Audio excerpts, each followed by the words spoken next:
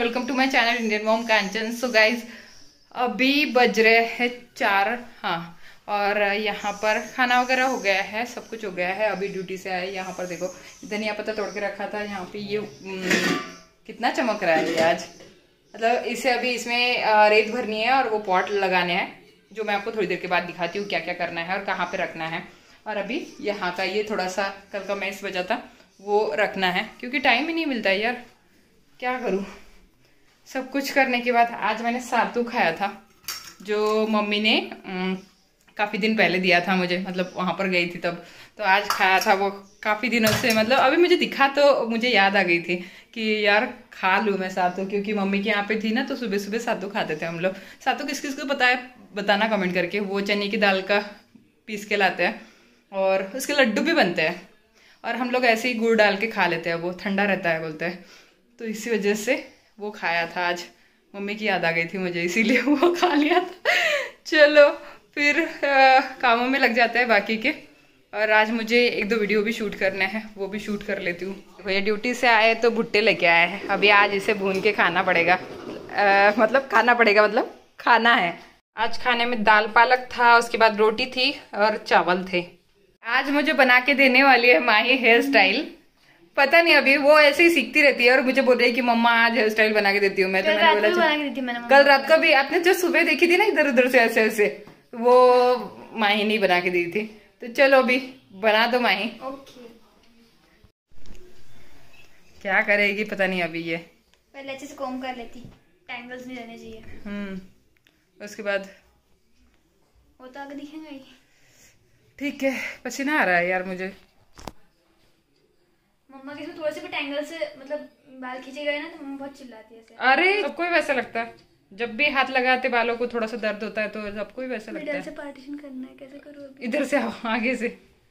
आपको पूरी माही की हेयर स्टाइल बनने के बाद दिखाती हूँ क्योंकि इसको समझ में नहीं आ रहा है कहाँ से करे।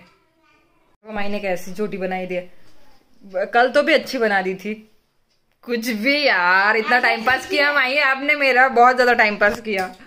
मुझे लगा था कि ये बहुत अच्छी बना के दे देंगी। और क्या? हेयर सिल्की नहीं हेयर सिल्की नहीं हेयर सिल्की हमेशा ही रहते हैं मेरे। उल्टा तो कल आपने बना के दी थी तो उल्टा परसों ही मैंने हेयर वॉश किए थे तो और भी ज़्यादा सिल्की थे। देखो चलो जो दो कोई बात नहीं। आपके पास रीजन देखो इसके पास। फ़ैन चालू था ये था वो था। चलो कोई बात नहीं जाने दो कोई बात नहीं मुझे रात को करके दे देना। ठीक है? रात को क्या फ़ायदा नहीं? क्या करें? तो गैज आज होने वाली है भुट्टा पार्टी और उस दिन एक ही भुट्टा बचा था तो हम लोगों ने आप लोगों ने देखा ही है कि हम लोगों ने तीन आ, कट किए थे उसे और अ, हम लोगों ने तीनों ने एक भुट्टा खाया था। तो आज इन्होंने बहुत सारे भुट्टे लाए हैं तो हम लोगों ने सोचा चलो आज भुट्टा पार्टी ही करते हैं। इसी वजह से भुट्टा भून रही हूँ। और हाँ किस किस को भुट्टा पसंद है कमेंट करके ज़रूर बताना मुझे। और बारिश के टाइम में तो भुट्टा खाने का मज़ा ही कुछ और होता है। जैसे कि बाहर जाते हैं और वो रेडी पे हम लोग भुट्टा खाते हैं बारिश के टाइम पे, बहुत मज़ा आता है। बाहर भुट्टा खाने का तो एक अलग ही मज़ा है वैसे। बट चलो कोई नहीं घर पे सब फैमिली मिलके अगर भुट्टा पार्टी करे तो और भी ज़्यादा अच्छा लगेगा। तो यहाँ पर वही चल रहा है, भून लेती हूँ भुट्टे को और उसके बाद क्या क्या लगाऊँगी उसे, वो भी बता देती हूँ आपको। हल्का सा मिर्च पाउडर लेना है, थोड़ा सा मिर्च पाउडर लेना है, उसके बाद उसमें नमक ऐड करना है, काला नमक ऐड करना है और नींबू लेना है और उससे अच्छे से उसको लगा के, नींबू को लगा के रगड़ लेना है उसके ऊपर। और इतना ज़्यादा टेस्टी लगता है। किस किस को ऐसे भुट्टा पसंद है, ज़रूर बताना कमेंट करके। देखो, जिस तरह से मैं नींबू रगड़ रही थी, उसी तरह से। और बहुत से लोग ऐसे खाते हैं मेरी तरह। इससे ना भुट्टे का टेस्ट और भी ज़्यादा बढ़ जाता है। और ये जो भुट्टे थे ना इतने ज़्यादा वो अ, क्या बोलते हैं ताज़े थे। मतलब ज़्यादा मोटे मोटे दाने नहीं थे एकदम छोटे छोटे दाने थे इसे और इतने ज़्यादा टेस्टी लग रहे थे। एकदम अ, जैसे थोड़े से मीठे से और थोड़े से खट्टे से बहुत ज़्यादा टेस्टी लग रहे थे। चलो भुट्टा तो खा लेते हैं भुट्टा पार्टी तो हो गई हमारी। और यहाँ पर कर रही हूँ मैं अपने किचन के काम। जो सुबह आपको धनिया पत्ता दिखाया था, वही फ्रिज में रख रही हूँ। एक्चुअली इसे पॉलिथीन में ही रखती हूँ अभी, क्योंकि ज़्यादा यूज़ करना है जल्दी जल्दी यूज़ करके छोड़ देना है, क्योंकि धनिया पत्ता अगर आप वॉश करते हो ना तो ज़्यादा दिन नहीं टिकता है ये। और अभी की सिचुएशन ऐसे है कि सारी चीज़ें वॉश करके ही रखनी पड़ती है हमें। पालक वॉश करते हो तो वो भी ज़्यादा दिन नहीं टिकता है। अगर धनिया पत्ता भी वॉश करते हो तो वो भी ज़्यादा दिन नहीं टिकता है। तो इसी वजह से अभी धनिया पत्ता ही पॉलिथीन में ही रख दूँगी आगे ही रख दूँगी, ताकि उस पर बार बार ध्यान जाए और ज़्यादा यूज़ हो जाए। और यहाँ पर बस क्लीनिंग कर रही हूँ, क्योंकि ये डाइनिंग टेबल मुझे आज क्लीन करना है, पूरा अच्छे से क्लीन करके ही आज मैं मानूँगी। एक्चुअली ये काफ़ी दिनों से ऐसे ही पड़ा है, इसके ऊपर बहुत सारा था मतलब मेस तो एक एक करके थोड़ा थोड़ा थोड़ा थोड़ा करके उठा रही हूँ, आज फाइनल कर दूँगी इसका। और जब मैंने डाइनिंग टेबल पूरा क्लीन किया ना मतलब कोई भी चीज़ मेरे घर पे क्लीन हो रही है ना, इतना ज़्यादा अच्छा लग रहा है, मुझे मतलब खाली खाली सा लग रहा है, जैसे कि बेडरूम भी क्लीन हो गई थी तो उस टाइम भी बहुत खाली खाली सा लग रहा था। अभी लिविंग रूम क्लीन हो गया था, उस टाइम भी बहुत खाली खाली सा लग रहा था, एकदम ऐसे ऑर्गेनाइज लगता है सारा कुछ। और आपका ध्यान गया है कि नहीं हेयर स्टाइल पे? देखो, माही ने हेयर स्टाइल बना के दे दी, बहुत अच्छी लग रही है वैसे। उसका ना बहुत ज़्यादा शौक है, कोई भी हेयर स्टाइल देखती है तो जल्दी से सीख भी जाती है और खुद की बना भी लेती है बट थोड़ा सा दूसरों की बनाने में प्रॉब्लम होता है उसे। और मेरा कैसा है कि मैं खुद की नहीं बना सकती, मैं दूसरों की बना के दे सकती हूँ थोड़ी थोड़ी मतलब मैं, मुझे ज़्यादा हेयर स्टाइल में इंटरेस्ट नहीं है, बस सिंपल सिंपल सी हेयर स्टाइल आती है मुझे।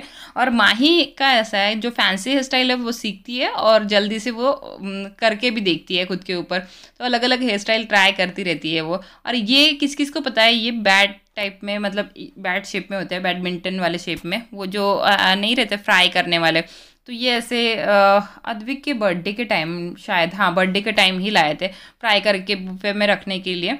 तो वो उस टाइम लाए थे और इतने सारे लाए थे कि उसमें से बहुत सारे बचे थे। तो हम लोग फ्राई कर करके बीच बीच में जब याद आती है तो फ्राई कर करके खा लेते हैं। तो ये अभी इसमें रख रही हूँ और उसके बाद एक और है छोटे छोटे छोटे छोटे वो भी अद्विक को बहुत ज़्यादा पसंद है। तो वो भी रख दूँगी इसके ऊपर। और बस ये खाली लग रही थी भरनिया मुझे तो इसमें मैंने ये राजमा भर दिया, किडनी बीन्स।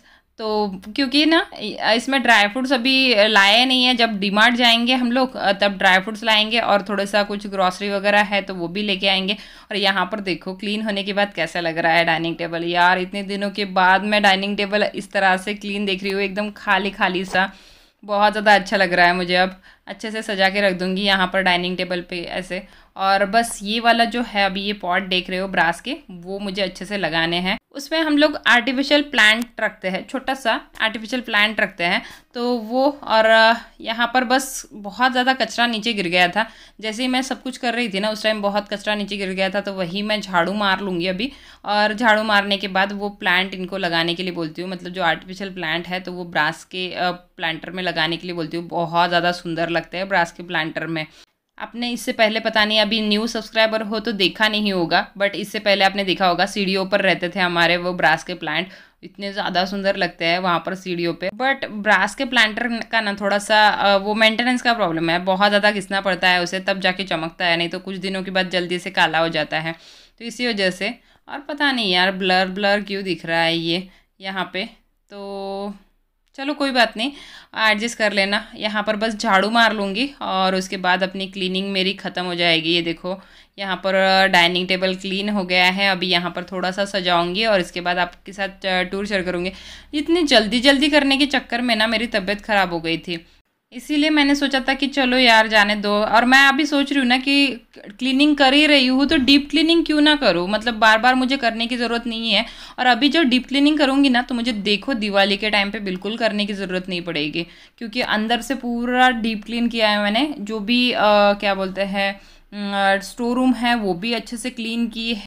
किचन की भी डीप क्लीनिंग हो गई है, उसके बाद लिविंग रूम की भी डीप क्लीनिंग हो गई है, लेकिन लिविंग रूम में तो थोड़ा सा करना ही पड़ता है बट किचन में मुझे नहीं करना पड़ेगा इस बार दिवाली के टाइम पे, देखना मेरा थोड़ा सा अभी जो मैं एग्जर्शन कर रही हूँ ना, वो मेरा उस टाइम नहीं होगा, दिवाली के टाइम पे मैं एंजॉय कर सकती हूँ उतना ऊपर ऊपर से तो क्लीन करना पड़ेगा, क्योंकि ऊपर ऊपर से तो क्लीन करना ही पड़ता है, थोड़ा धूल वगैरह बैठ ही जाती है। बट मेरी डेली हैबिट मैंने ऐसी रखी है कि मैं ना हमेशा हमेशा क्लीन करती रहती हूँ कोई भी चीज़। जैसे कि मेरे सामने दिख जाती है ना कोई आँखों के सामने तो वो मैं क्लीन करे बगैर मानती नहीं हूँ। तो इसी वजह से मेरा घर ज़्यादा गंदा नहीं होता अभी ये फर्नीचर का काम चल रहा था और मैं बहुत ज़्यादा बिज़ी थी, इसी वजह से इतना ज़्यादा हो गया था।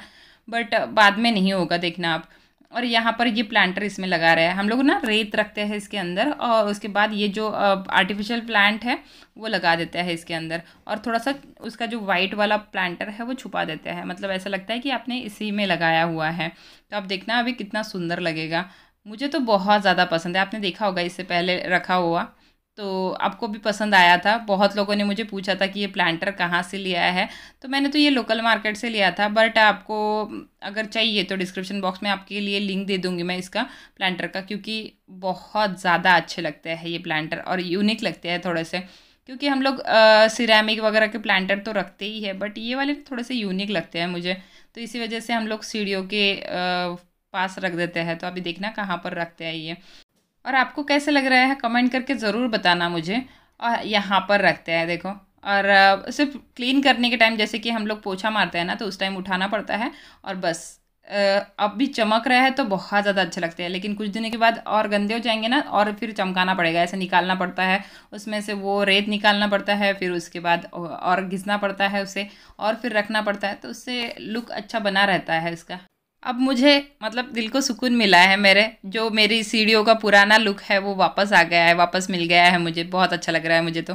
माही बना रही है अद्विक और माही के लिए दूध।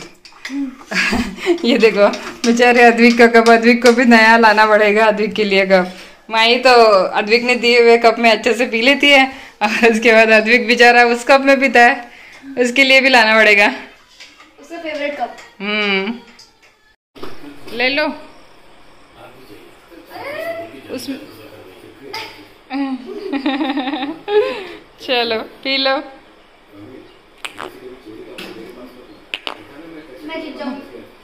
जल्दी जल्दी पियो नहीं तो माही दीदी जीत जाएगी। तो चलिए गाइज़ इसके साथ ही इस ब्लॉग को यहीं पे एंड करती हूँ और मिलती हूँ अच्छे से नए ब्लॉग में आपसे। आई होप गाइज़ आपको ये छोटा सा ब्लॉग पसंद आया होगा। पसंद आया हो तो लाइक शेयर एंड चैनल को सब्सक्राइब ज़रूर कर देना। अगर आपने अभी तक नहीं किया है तो और हेयर स्टाइल कैसी लग रही है कमेंट करके ज़रूर बताना। और हाँ इसके अलावा मेरे दो और चैनल है, आप चाहो तो मुझे वहाँ पर भी सब्सक्राइब कर सकते हो। दोनों चैनल का लिंक और इंस्टा का लिंक आपको डिस्क्रिप्शन बॉक्स में मिल जाएगा। और डिस्क्रिप्शन बॉक्स ज़रूर चेक कर लेना। तो चलिए फिर guys bye bye take care and love you all bye ध्यान रखना अपना।